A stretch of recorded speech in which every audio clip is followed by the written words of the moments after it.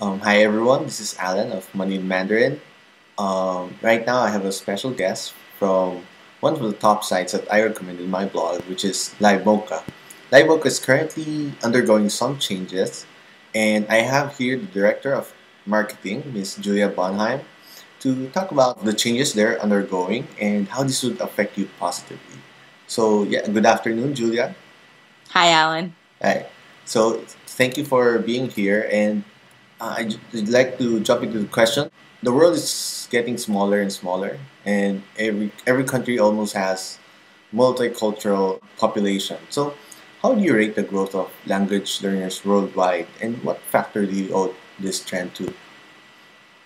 Yeah, I think you know. I think language learning is growing tremendously and i mm-hmm. actually attribute a lot of that to technology right? right? so technology has done the amazing thing which is to shrink our world even more like you mentioned right so you and i are talking right now on skype mm-hmm. from across right. the entire world people mm-hmm. have email they're no longer you know crazy rates for long distance phone calls you can use all sorts of technology and so what's that what that's allowed to happen is let global business grow unbelievably also mm-hmm. right? It's now possible to do business across the world and to get talent from all over the world as well. And so what it means is that there's really in a lot of ways only one major barrier left to worldwide global communication and that's language right? You and i can talk to each other at any time. We can reach each other at any time. We can collaborate. We can fly across the world relatively inexpensively, at least compared to um, you know to past decades, and and go to meetings. But if you can't speak the same language, then you can't collaborate. And so I think that's really one of the main reasons why language is becoming such an important factor. What's going on is it's really that last barrier to global mm. collaboration. Right. And since my blog is about Mandarin Chinese, do you, have, do you see specific um, growth with that language? Absolutely. I mean, Mandarin's been growing, at, at, you know, in the entire world over probably really the last 10 years. The, the growth has been just tremendous. I think Mandarin joins languages like Spanish, um, mm. which has always been big and continues to grow. Um, and then you have, um, you know, right after Spanish, you have Mandarin, you have Arabic, you have these languages that are becoming increasingly important for business, for politics, for global commerce. Um, so, so Mandarin's absolutely up there, and it's growing. Although I think Mandarin remains a real challenge actually mm-hmm. for a lot of people. It's a difficult language to learn, particularly for people who speak um, Latin-based or Romance languages. And so, I think there's a real need for great um, Mandarin education in ways that are going to help people really learn it and become proficient. Mm-hmm. And I think, with regard to the Mandarin content, um, it is going to be part of a major change with LiveMocha because currently there's a new platform that you're developing, and could you share us uh, a little, mm-hmm. share to us a little bit more about it? Yeah, absolutely. So um, the new platform's really excited, exciting. Basically, um, LiveMocha has been around for about six years now, and in that time, we've learned so much, right? Mm-hmm. We've learned what works, we've learned what doesn't work, we've learned what kind of content works, what kind of content doesn't work. Mm-hmm. And once we wanted to start putting those learnings into action, we realized the techno- that the technology that we were on previously wasn't flexible enough mm-hmm. for us to innovate as quickly as we wanted to. Mm-hmm. So we made the decision that if we wanted to move forward in the way we knew was going to be most beneficial to our learners, we would need to build on this new platform. And so the new platform has a bunch of really exciting things that I think are going to help people a lot. Mm-hmm. First, it it includes a content editor, which allows us to harness the power of teachers and authors and publishers worldwide mm. to constantly create new content for LiveMocha. Right. right. So those of you who are familiar with LiveMocha previously know that the content you saw, you know, six years ago was the right. content that we have today. It was pretty static. But now with these new tools that allow anyone anywhere in the world to build new content and then going through our um, curation and editorial process to make sure it meets LiveMocha standards, this means that we have sort of a constantly growing bank of new learning content that um, is already greater than what we had on the old platform and has the additional benefit of growing every single day. I think the second benefit is that we've really structured the site around giving people productive interactions with mm-hmm. native speakers right? So every single lesson now has a new feature that we're actually just very slowly rolling out. So it's a little bit of a sneak preview, uh-huh. um, but a feature called Language Exchange, mm-hmm. which lets you do kind of a walkie talkie style live mm-hmm. chat based specifically on the lessons that you learned in Mhm. that activity set. Right? So instead of just saying, okay, here's live chat, come up with something to talk about, Right. which can be really scary and intimidating for a lot of people. Um, we've put everything in the structure of the lessons Mhm. and given people a lot of choice. Do they want to practice with a language expert? Do they want to practice with a community member? Um, and let them sort of decide the level of investment that they want to make in their own learning. So, those are a cou- a couple of the things that we're really, really excited about. I think that's a good part regard to language exchange. It's, it's not just a random chat with, between two people. You must have specific context, just like you said that it is done Exactly. after a specific lesson, so you you get a chance to apply it. So I think that's a Right. good change rather than just leaving them to meet and talk about something that it, it they might not be comfortable about, especially talking to a stranger. So giving them context is a great way of um, framing the conversation. So so Yeah. great. That's a great introduction for Mocha, and there's plenty more. And with regard to the content, how do you curate this information? Oh yeah. So um, previously we had actually partnered with Pearson and HarperCollins for a couple of languages only. So that was actually only for English, Spanish, French, Italian, and German. Mhm. And um, our, our Mandarin content, for example, was built by um, linguistics PhDs. Um, so very, very qualified, and that's great. Right now, um, we curate our content in a couple of ways. The first is um, even though we have these tools, that means that anybody can create stuff. We've been very selective about who we let use them, right? So we're only hiring people to build content for us who are teachers and or content creators with um, quite a few credentials, right? So they go through a pretty rigorous application process. Mhm. Then each each language has uh, what we call a curator, which in the traditional publishing world would be like an editor, and they have to go through and they have to check every piece of content before it goes out on Live Mocha to make sure that the quality is accurate, to make sure that um, it fits within a framework. Mhm. So that's sort of the second line of defense. The third, because you know, obviously things change and things get out there and things slip through. It's just life.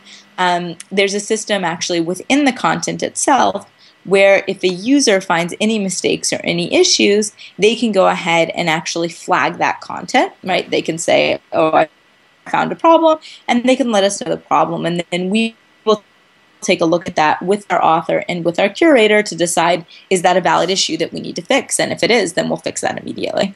right? Um, recently, there's of course some big news with regard to Live Mocha, which is well, you guys are merged with Rosetta Stone, Right. which is popularly known worldwide as the yellow Yeah. box near the airport, right? So, how will this affect Live Mocha's services? Because Rosetta Stone is quite a premium product. So, will this affect the pricing of Live Mocha, which is mostly free and Yes. with certain paid services? Yeah, no, I- that's a great question. I'm glad you asked. Um, the, the basic answer is no. Um, it, it's not going to affect things significantly. I think you know the reason that Rosetta Stone purchased Live Mocha um, was for a couple things. First and foremost, um, it's because they liked the product and they liked that Live Mocha would allow Rosetta Stone to reach an audience that maybe Rosetta Stone couldn't reach before. We're exceptionally international in nature, and we we do have um, a big free population. People who you know because of reasons of um, economics and other international situations and, and even here in the US can't pay for language learning. Yeah. And at Live Mocha, our philosophy has been that we want to make learning accessible for everyone. Mhm. Um, and so I think Rosetta really believes in, in getting that segment of the market and having Live Mocha be a great product for them. Mhm. Um, I think what we're going to try to be doing is try to figure out who our different learners are. And, you know, maybe there's some learners on Live Mocha who might really love a great deal on Rosetta Stone. Maybe there's a Rosetta Stone learner who could really benefit from practicing with native speakers on Live Mocha. So I think you'll see greater connectiveness between the products. Um, but I don't anticipate the pricing structure on Live Mocha to change significantly. The other cool thing about the acquisition is Rosetta Stone is really excited about Live Mocha's technology. And Rosetta is in the process right now of, you know, moving away from the box and, and into the cloud, you know, making their products much more accessible, much more um, internet based and Live Mocha's technology is going to help them do that. So I think that our customers can expect to see a lot of great um, cross promotion, a lot of cool opportunities for learning. Mhm. Um, but you know, our mindset in in this partnership is that learning is really limitless. So the more options we can give people, the better. Great, great. And one aspect that I think Rosetta Stone also loved with Live Mocha is the community part because absolutely that's that's quite that's a big backbone that Live Mocha relies on, which is the exactly. active feedback and interaction of the people. So, what? How would you say is how big of an effect is the community to a language learner's experience? I think it's tremendous, and you know the reason is this: language at root, it's communication right? They're the same thing, mm-hmm. right? You learn language so that you can talk to somebody, so you right. can exchange ideas with someone, so you can learn something. And so allowing people to actually practice that communicating by communicating, right. I think is the best possible way to learn. Mm-hmm. You know, and sometimes it's not always possible. If I were to go out and say, I really want to learn, um, Norwegian today, right. like I would have to look really hard to find a Norwegian speaker. I don't know any um, but the internet has allowed us to connect people with each other and to connect people across interest. And so, getting feedback from the community, practicing with the community, um, I think is a really tremendous part of learning. Right.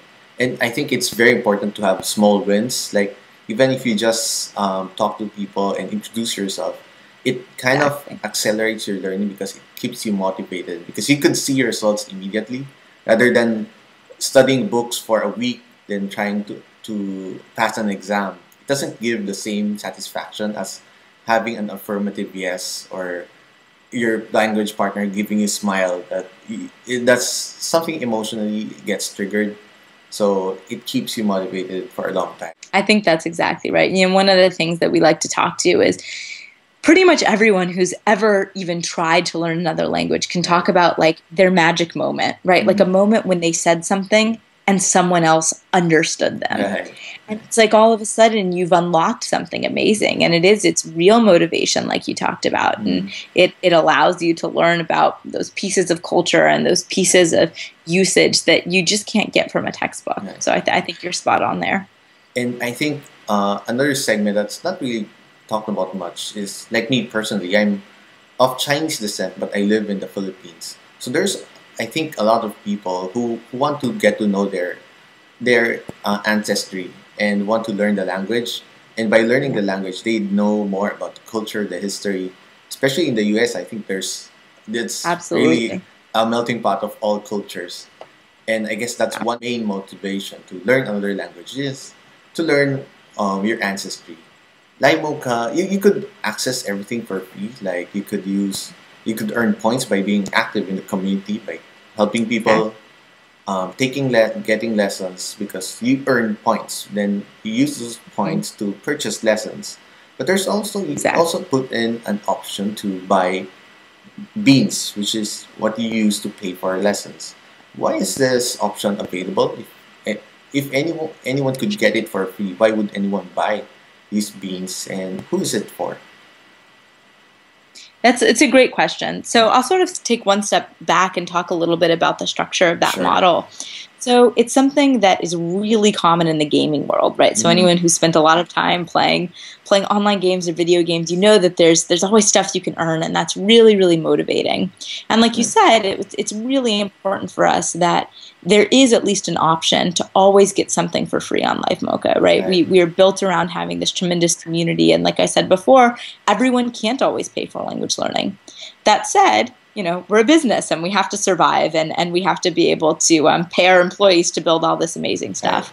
And so we devised a system where in order to get access to anything on live mocha you either had to spend time helping others contributing to the community doing your own learning right? So doing things that are all useful and contribute to the vibrancy of your learning path and to live mocha.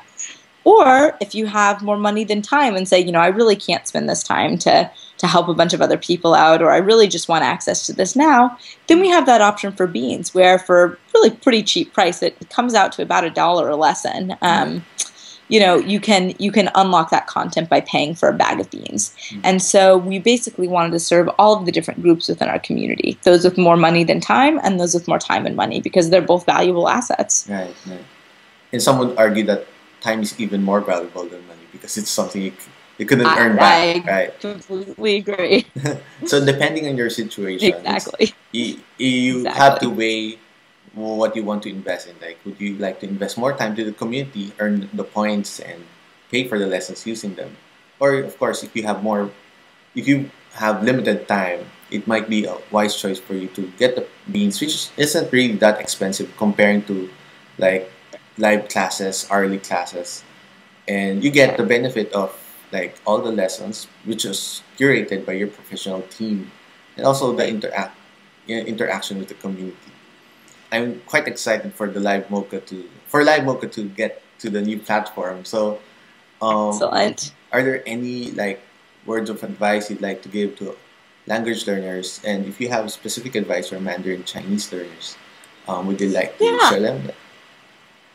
I mean, I would say that overall, um, language learning can be hard, right? It takes time, it takes motivation, but it can also be unbelievably rewarding for all the things that we've talked about sort of communicating internationally, getting to know new cultures, unlocking your heritage, making progress at work, right? And and the reality is that sometimes it takes time, but once you start putting in that time, it can be a lot of fun. Um, so I would just encourage people to really try out the new platform, spend some time, do a bunch of activities, submit things to the community, try language exchange, um, because you'll find that that the returns on on the that investment that you put into it um, are really tremendous. The world is really getting smaller, and you know, opportunities are out there, especially communicating with people. It's one of the best assets you can have professionally and personally.